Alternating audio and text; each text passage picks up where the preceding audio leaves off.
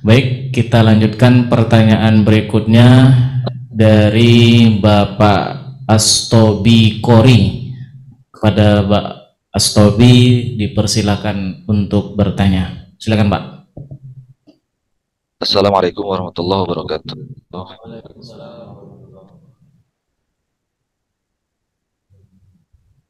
Uh, mohon izin Tuan Guru, saya bertanya. Sebenarnya banyak pertanyaan di kepala saya. Ingin bertanya tentang syahadat. Walaupun saya berulang-ulang uh, apa nonton Tuan Guru ya bahwa makna syahadat itu adalah menyaksikan. Sedangkan kita uh, menyaksikan itu adalah sesuatu yang uh, tampak jelas ya kan. Uh, yang pertama itu tentang syahadat. Yang kedua di mana letak wujudnya Allah. Sedangkan wujudnya Allah itu mentok selesai sedangkan wujud Allah itu nyata dan terang sejelas-jelasnya uh, kata Tuan Guru bahwa wujud Allah itu nyata. Di saat saya meraba-raba, saya selalu mentok Allah tidak bisa dibayang atau dibentuk dengan apa pun, ya kan? Karena laisa kamisli uh, laisa kami saya itu. Yang kedua itu. Yang ketiga, selalu saya ada ada dalam pikiran dan perbuatan saya kutipan keterangan la tasihul ibadah illa ba'da marifatul ma'bud. Ya kan? Tidak sah semua ritual ibadah kecuali uh, sesudah mengenal uh, yang disembah. Uh, sedangkan saya belum tahu tuh siapa yang disembah yang ketiga, jika sudah kenal, ya kan? Yang ketiga ini pengen diajarkan cara uh, mi'raj. Mi'rajnya karena ada sebuah keterangan juga, as-salatu mi'rajul mu'minin. Uh, salat itu mi'rajnya orang orang mukmin gitu loh. Jadi kalau bahasa lainnya berliko kalau kata Tuhan Guru. Ah, mohon penjelasannya Tuhan Guru agar hamba ya saya secara pribadi agar bisa memahami itu. Terima kasih. Assalamualaikum warahmatullahi wabarakatuh.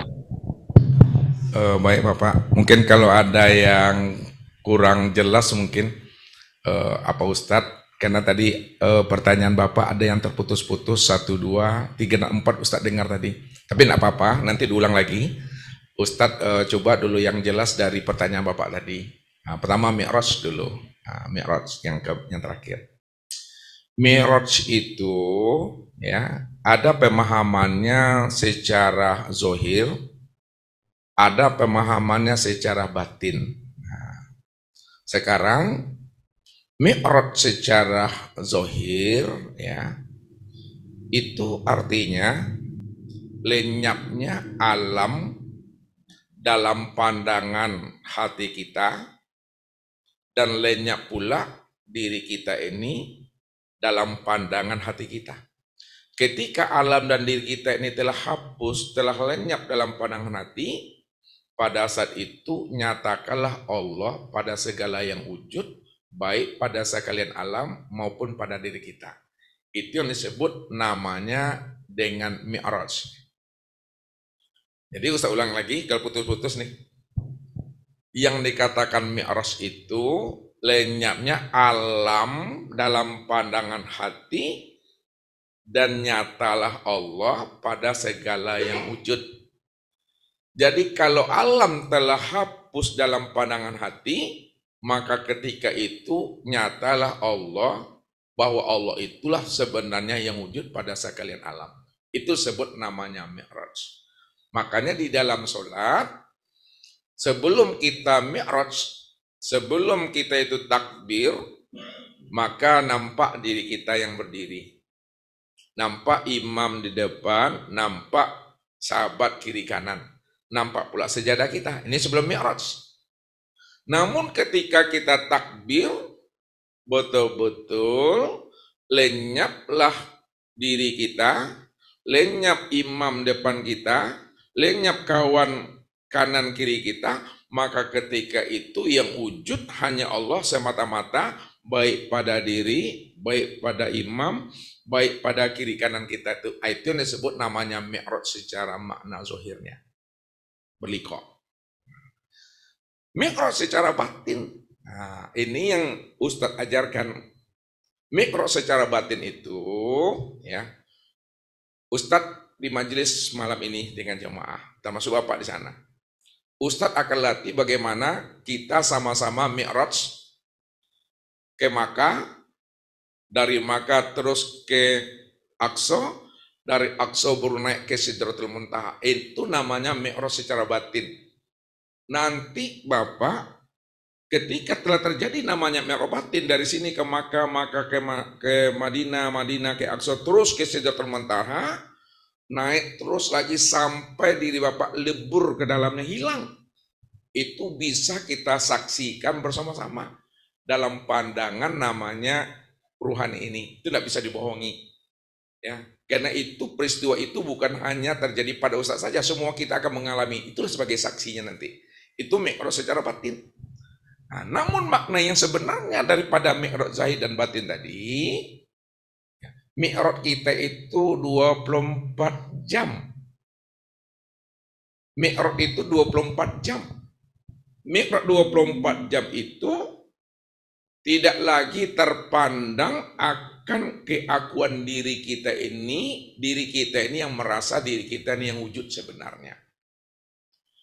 Ketika diri kita telah hapus, tidak ada lagi kewujudan diri kita, pada saat itu kita disebut namanya sudah mi'raj, sudah lenyap alam ini dan diri kita ini yang tinggal hanya Allah semata-mata. Ini yang mesti dilatih. Sehingga tidak tertilik sama Tuhan, tidak kelihatan oleh Allah, tak nampak oleh Allah bahwa diri kita ini yang melihat. Tak nampak oleh Allah diri kita ini yang mendengar, berkata, berdiri, duduk, diam, bergerak. Tak nampak oleh Allah. Kenapa? Karena diri kita sudah lebur, sudah karam di dalam wujud keesaan diri Allah sebenarnya. Itu makna yang sebenarnya itu. Sama dengan bahasa begini Pak. Nah, terbuka mata batin. Hanya selalu orang terjebak. Orang selalu mengatakan terbuka mata batin itu ukurannya itu standar yang dibuatnya mampu membuka alam goib mampu memandang alam jin. Ketika dia bisa memandang alam jin, bisa dia memandang bangsa-bangsa ghaibiyah, dia selalu mengatakan sudah terbuka mata batinnya. Sebenarnya itu belum terbuka. Yang dikatakan terbukanya mata batin di mana dia telah mampu memandang Allah dari semua yang ada. Dia mampu menyaksikan Allah dari segala yang wujud ini. Buktinya bahwa terbukanya mata batin seseorang, dia tidak pernah berbohong. Dia tidak pernah dusta. Dia tidak pernah berbuat maksiat dan dosa. Kalau masih berdusta, berbohong, masih berbuat maksiat, itu tandanya tertutup mata batinnya. Yang batin itu Allah. Jadi orang yang terbuka mata batin itu maksud yang sebenarnya terbukanya mata hatinya memandang Allah bahwa Allah itulah sebenarnya yang wujud dan segala yang ada ini. Sehingga dia tidak lagi dalam bahasa Ustadz tidak ada lagi namanya dusta dan bohong itu. Kalau masih dusta, kalau masih ada bohong, berarti belum terbuka mata batinnya bersama Allah itu. Itu ukurannya Allah bukan bukan alam gaib ukurannya, bukan memandang jin ukurannya orang yang terbuka mata hati, tapi adalah Allahnya di sana. Kemudian yang ketiga tadi apa ya? Eh, yang ketiga apa tadi? Uh, tentang sadar. Ya, tentang ya. sadar Ustaz. Bagaimana uh, cara menyaksikan? Karena kata Bapak tadi kalau menyaksikan berarti jelas tanpa yang kita saksikan. Jadi bagaimana pemahamannya itu Ustaz? Ya sadar dengan liko ya. Untuk kita bisa berlikok dengan Allah, bertatap wajah dengan Allah, syaratnya cuma satu kata Nabi. Ya, kata Nabi, mutu kobla antamutu. Matikan dirimu sebelum dirimu mati. Sebab apa? Bila engkau adalah engkau, maka engkau tak kenal aku. Maksudnya, Bila engkau merasa diri engkau itu yang wujud, engkau merasa diri engkau itu yang memandang, mendengar, berkata, mengetahui, berkuasa, berkehendak dan hidup, maka selama itu kamu takkan pernah mengenal dan menyaksikan aku. Aku ini yang wujud yang sebenarnya kamu tidak kenal. Aku ini yang melihat dan mendengar sebenarnya kamu tapi kamu tak kenal. Aku ini yang hidup sebenarnya namun kamu tak kenal. Apa sebabnya? Karena kamu merasa engkau juga punya wujud dirimu. Tapi apabila engkau bukanlah engkau, pasti engkau kenal akan aku. Kalau engkau tidak lagi merasa bahwa diri engkau itu yang wujud, tidak lagi engkau merasa diri engkau itu yang hidup, maka ketika itulah engkau pasti kenal dengan aku. Yang sebenar-benar wujud itu adalah aku. Yang sebenar-benar hayat itu aku. Jadi syaratnya matikanlah wujud dan sifat kita ke dalam wujud dan sifatnya Allah. Pada saat itu nyatalah wujud dan sifat Allah semata-mata. Selagi kita masih merasa diri kita ini wujud ada dan merasa, maka selama itu kita tidak akan pernah mengenal akan Allah. Jadi orang yang mati sebelum hidup, inilah yang dikatakan Allah almarhum. Jadi almarhum itu adalah orang yang telah mati keakuan dirinya baru dapat gelar almarhum karena dia telah karam bersama Allah. Tapi kalau dia masih wujud masih merasa dirinya yang ada, maka gelar yang diberi Allah namanya Al-Mal'un. Selagi dia merasa dirinya yang hidup, melihat dan mendengar, itu Al-Mal'un, orang yang dilaknat Tuhan. Pada saat itu, dia telah merampok haknya Allah sebenar-benarnya. Jadi, kesimpulan untuk berlikuk dengan Allah, bahasa yang mudah kita sampaikan sadari sesadar-sadarnya bahwa diri kita ini la haula wala quwata illa billah. Sadari sesadar-sadarnya bahwa diri kita tidak pernah ada sama sekali. Sejak kapan diri kita tidak pernah ada? Sejak mula jadinya diri kita tidak wujud. Kapan itu? Sejak Allah itu wujud, Sejak Allah itu hayat, maka sejak itu pula diri kita tidak pernah ada sama sekali. Nah, kalau diri kita tidak ada, ketika itu kita telah bertatap wajah dengan Allah. Jadi bertatap wajah dengan Allah itu bukan bertatap wajah keluar diri, tapi bertatap wajah kepada diri pada saat diri kita tidak ada, ketika itu yang ada itu hanya Allah. Kalau Allah cuma yang ada, lalu siapa diri kita ini? Diri kita inilah yang katakan nyatanya, senyata-nyatanya wujudnya Allah. Walaupun Allah itu batin, namun batinnya telah nyata, telah terang pada segala alam dan pada diri kita ini. Inilah yang dikatakan Allah. Al-insanu siri wa anasirahu. Insan itu adalah rahasiaku. Dan akulah yang insan itu. Jadi yang mengatakan insan itu bukan kitanya. Yang mengatakan insan itu adalah Allah. Insan itu rahasia aku. Dan akulah sebenarnya insan itu yang sebenar-benarnya. Walaupun kita disebut insan sama orang, tapi insannya kita bukanlah nyatanya wujud diri kita. Walaupun kita disebut manusia, namun manusianya kita bukanlah kenyataan wujud diri kita. Kalaulah manusia itu bukan nyatanya wujud kita, kalaulah insan itu bukan nyatanya wujud kita, lalu siapa insan dan siapa manusia itu? Insan dan manusia itu ya aku, kata Allah. Wallahu nafsiun wa ana nafsau wujudahu. Allah itu yang diriku, dan diriku itulah nyatanya wujud Allah. Allah berkata kepada dirinya, yang disebut namanya dengan insan. Padahal insan itu adalah Allah itu sendiri. Nah, itulah kalam batin yang ada di dalam diri kita ini. Nah, jadi insan itu bukannya bapak, bukannya ustadz. Insan itu adalah nyatanya diri Allah yang bernama Muhammad.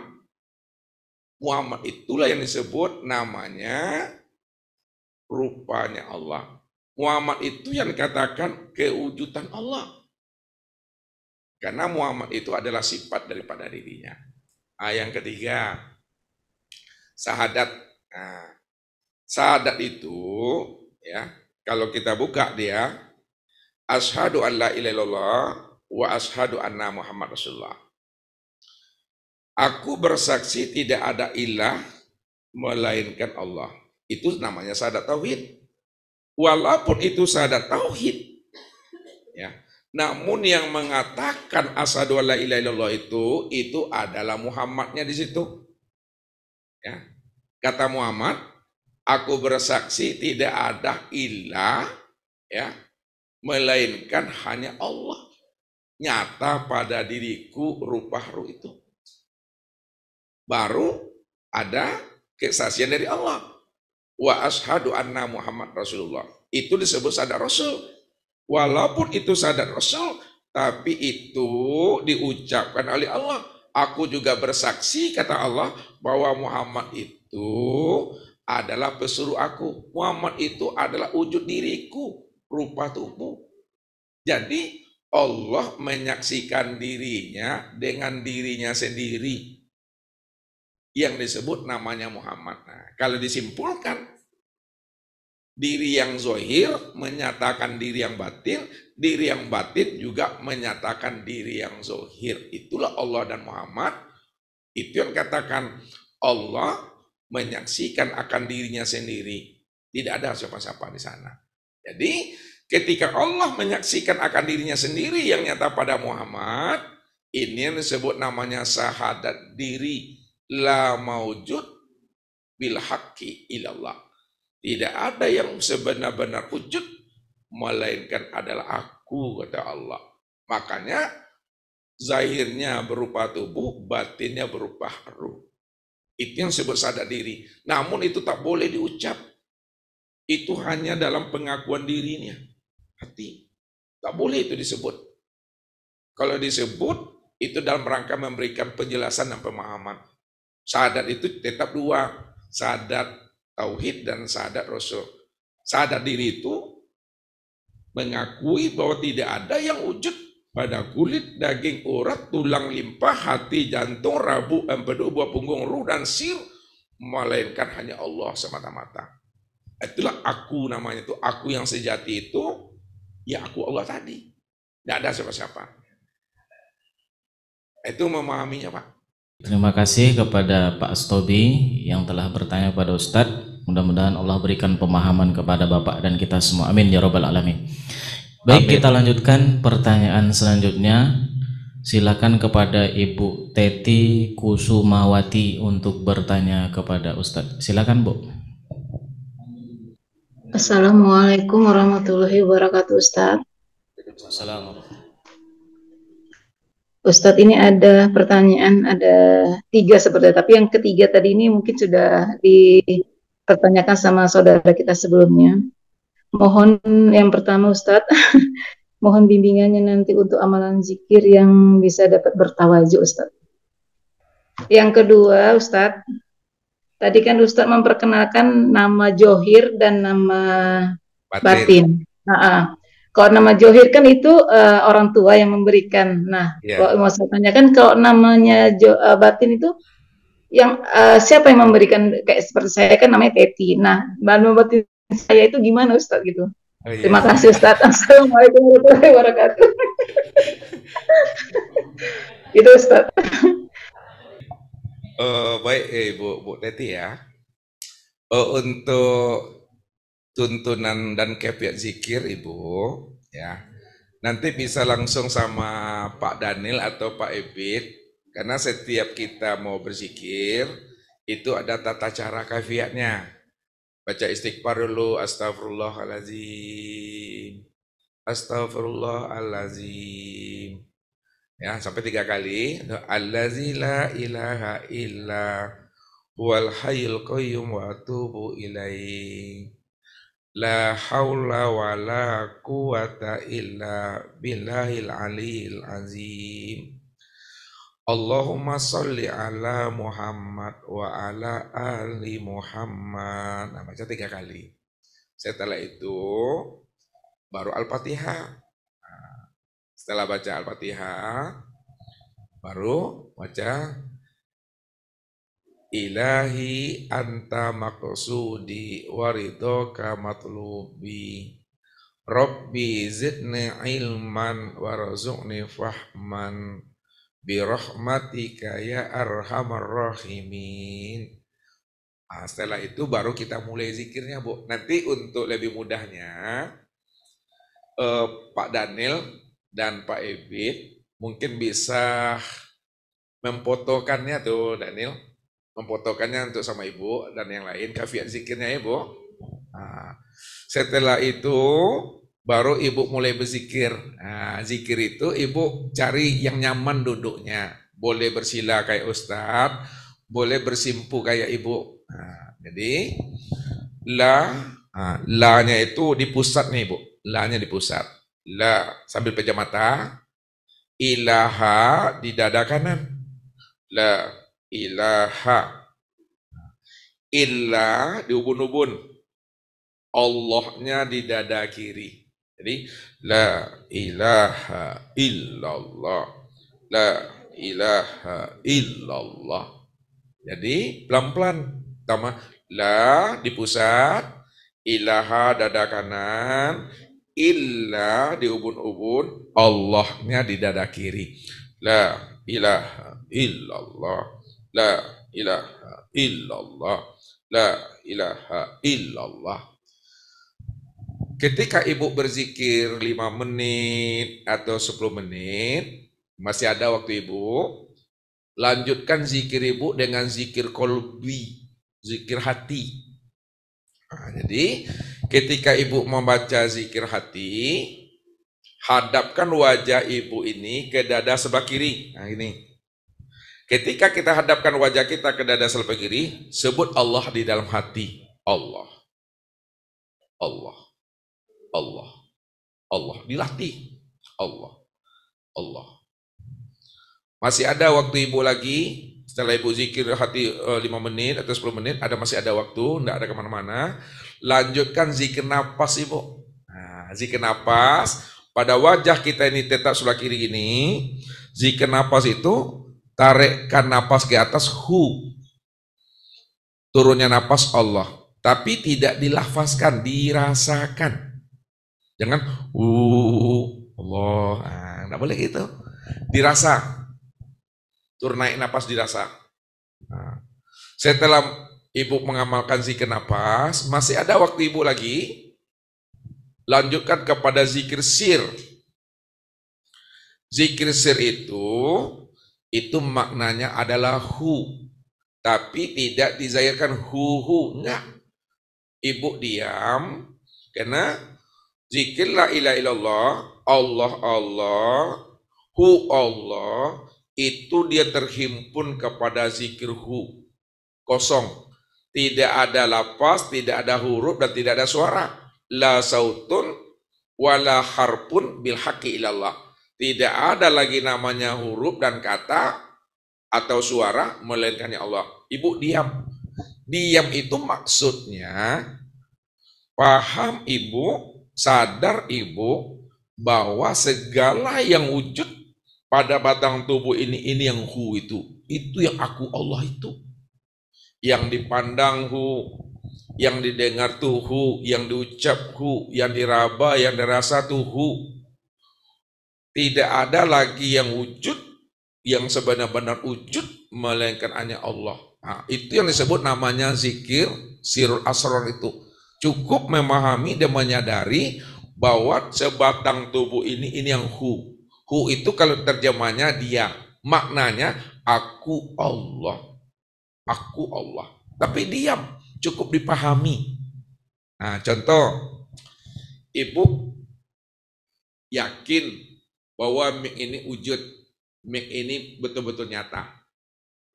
Andai kata ibu tidak sebut mik ini wujud, Ndak ibu sebut mik ini nyata, apakah mik ini tidak wujud dan mik ini tidak nyata ibu?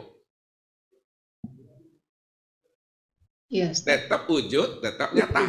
Nyata. Begitulah memahami makna zikirhu itu. Walaupun ibu tidak menyebut Allah nyata, Allah wujud, diam saja ibu.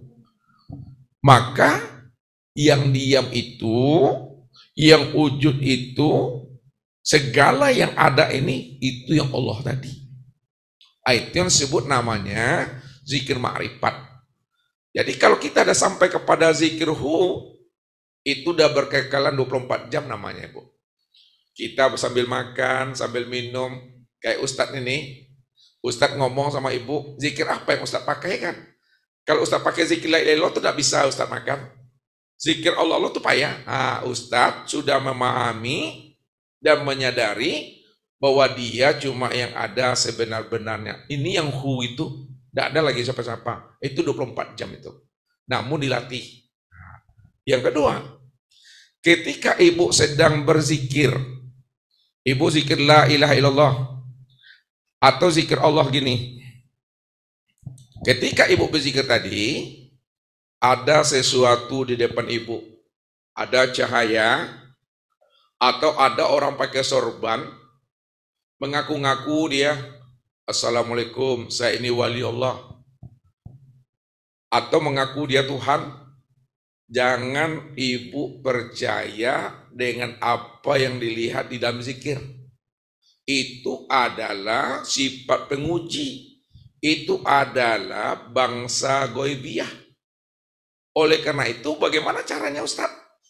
Ketika kita berzikir, nampak sosok cahaya depan kita atau ada orang duduk depan kita kita buka mata kita, hilang dia. Tutup lagi, nampak dia. Rupanya bukan mata ini yang melihat, mata ini yang melihat. Namun dalam berzikir, bukan itu yang kita tuju, bukan itu yang kita cari. Pada saat itu terjadi pada diri ibu, ucapkanlah subhanallah, subhanallah, subhanallah. Arahkan subhanallah itu kepada kita lihat. Apabila dia terbakar, berubah wujudnya, lari dia, itu yang dikatakan namanya bangsa gobiah, itu jin. Makanya orang yang berzikir, kalau tidak lurus kompasnya, tak lurus niatnya kepada Tuhan, terjadi peristiwa itu, pengalaman rohani, yakin dia dengan itu, boleh jadi nanti sebulan jadi paranormal dia nanti itu. Ya, apalagi dikasih senjata, keris, atau apa namanya tasbih Jangan. Tetap aja ibu berzikir, kalau memang dah cukup, tutup. Ah, besok kita berzikir kembali. Tapi jangan itu, mudah-mudahan terjadi pengalaman itu. Ah, itu tipu daya. Jadi tetap kita berzikir itu tak ada yang lain di sana. Nah, itu jalan terus ke atas. Sampai nanti di dalam berzikir, apabila terjadi zuk, terjadi pada diri ibu. Ibu jangan khawatir. Maksud Ustaz, ketika ibu berzikir, lepas ruhan ibu, keluar dia. Lepas, ditinggalkannya diri ibu, terus ke atas dia ke atas. Jangan ibu takut. Itulah terjadi namanya pengalaman rohani itu. Dia meninggalkan batang tubuh ini. Nah, nanti ada kalam nanti ibu belum kembali turun lah. Walaupun ibu tak mau turun nanti ada kalam tuh turun katanya. Turun situ. Ah, nih. Atau boleh jadi nanti pengalaman ibu ketika ibu berzikir, hilang napas ibu. Hilang napasnya, kosong. Ibu tetap hidup tapi nggak bernapas, hilang napasnya di situ. Nah, jangan. Nah, ini inilah perlu gunanya bimbingan. Perlu ada penuntun. Ya. Jadi kalau kita nggak pakai bimbingan di situ, mana tahu kita nyasar nanti ke alam jin perginya. Kita kira itu alam malaikat, rupanya alam jin. Nah, ditangkap jin tomang kita nanti di sana. Jadi lurus zikirnya. Ah, begitu Ibu. Ibu ya. Mungkin itu dalam uh, berzikir.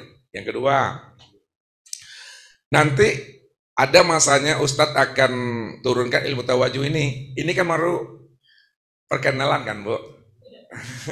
Iya, Kalau bahasa Minangnya mengejek nak cukup sepatah dua patah bu, mau mencong nak sekali putui lah. Ya. Tapi nak apa-apa.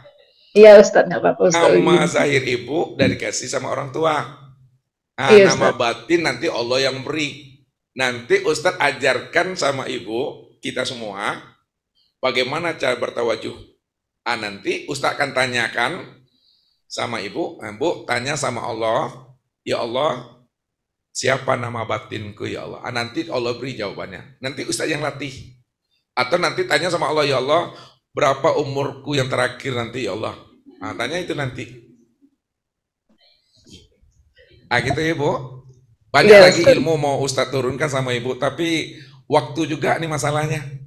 Ya. Kalau ada waktu Ibu, ah datanglah ke tempat Ustaz nanti ke Pekanbaru. Ya ada waktu libur. Nah, kalau ada pula luang Ustadz nanti Ustadz pula sama ibu nanti ke sana. Kan apa apa Ustadz ke sana kan? Enggak apa apa Ustadz. Iya. Jadi Ustadz eh, waktu Ustadz ketika ada libur bu ada libur sekolah atau tanggal merah baru Ustadz bisa keluar. Kemarin dah Ustadz pergi ke Kalimantan dan minta izin pula sama guru. Nah, besok rencananya mau pergi ke Aceh bu ke kota Cane atau minta izin. Kalau dapat izin sama kepala sekolah Insya Allah Ustaz berangkat. Makasih ya, Ustaz. Ya, Bu. Ya. Mohon, mohon izinnya nanti insya Allah datang ke sana. Iya Bu. Nah. Alhamdulillah. Ya, mudah-mudahan Ibu Teti Kusumawati jelas dengan penjelasan Ustaz. Kita lanjutkan eh, sebelumnya mohon maaf kepada Bapak Ibu yang melambaikan tangan untuk bertanya. Mungkin waktu kita terbatas jadi kita ambil satu pertanyaan lagi dan untuk selanjutnya kepada Bapak yang ingin bertanya malam hari ini sampaikan nanti ke WA. Nah, nanti kita jawab lewat video, Pak. Nah, di WA grup yang Bapak-bapak sudah masuk ke grup itu nanti sampaikan di situ. Insya Allah nanti kita akan jawab lewat video. Untuk penanya terakhir kita minta kepada Bapak Herman Junaidi kepada Bapak kami persilahkan. Ya, Bismillahirrahmanirrahim. Assalamualaikum warahmatullahi wabarakatuh, Ustaz. Ya, Pak. Saya yang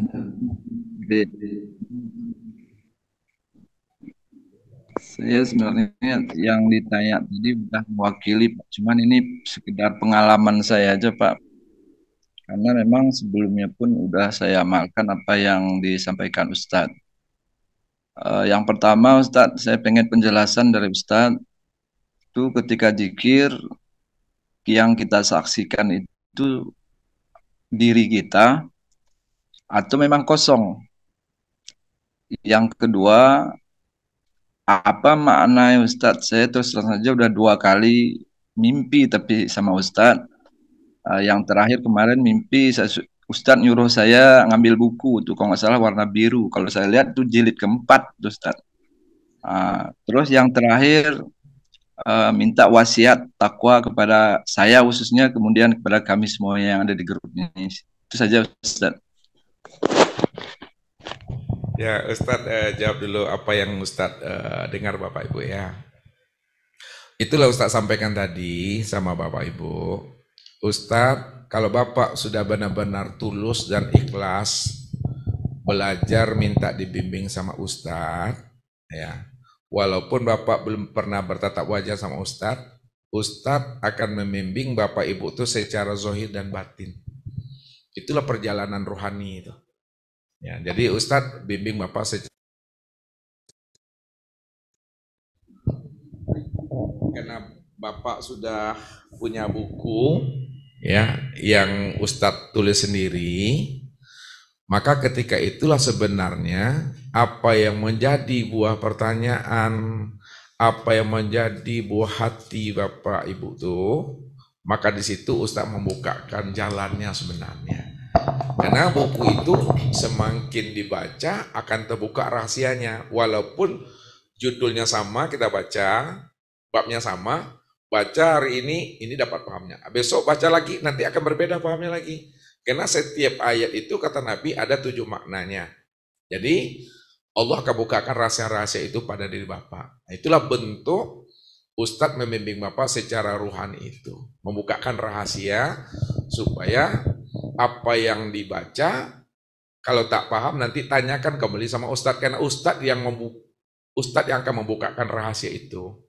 Bahkan di dalam buku Arif Bilang itu ustadz dah bukakan uh, ilmu tawajuh.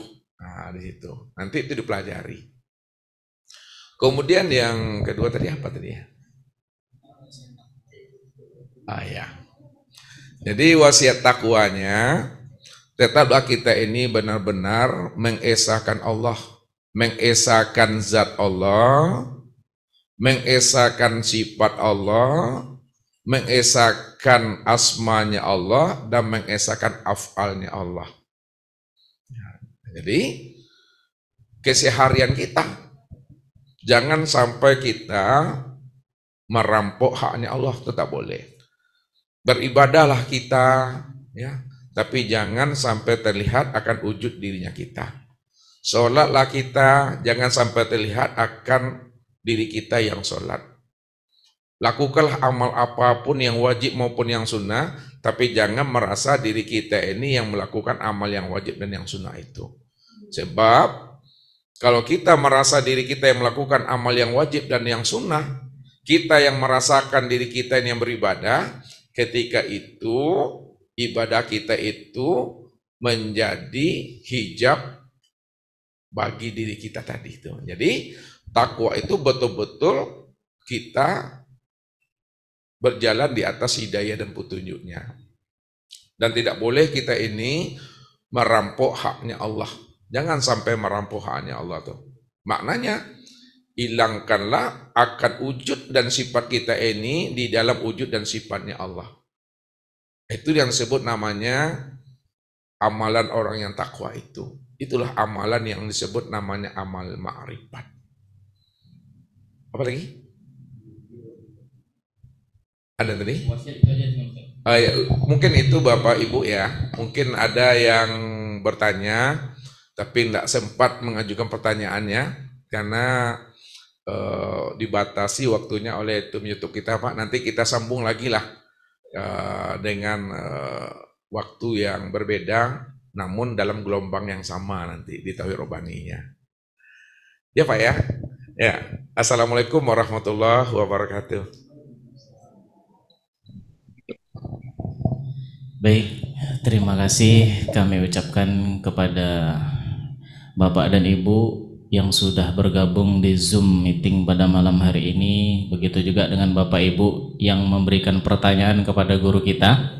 Baik Bapak Ibu yang hadir di Zoom meeting, jam di Riau sekarang menunjukkan pukul 12 lewat 5 menit Pak. Nah, jadi mungkin kita sudahi dulu pertemuan kita pada malam hari ini. Insya Allah di waktu akan datang dua minggu lagi Pak Nah, dua minggu lagi nanti kami akan informasikan melalui grup WA untuk mengadakan Zoom lagi.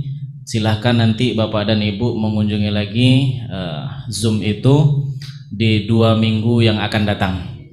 Bapak Ibu yang dimuliakan oleh Allah Subhanahu Wa Taala, kami mewakili dari tim YouTube Tauhid Robbani memohon maaf atas segala kekurangan yang terjadi pada malam hari ini. Mudah-mudahan di masa yang akan datang bisa kita perbaiki dan kita bisa bertemu dan bertatap muka dengan guru kita kembali. Sekian yang dapat saya sampaikan.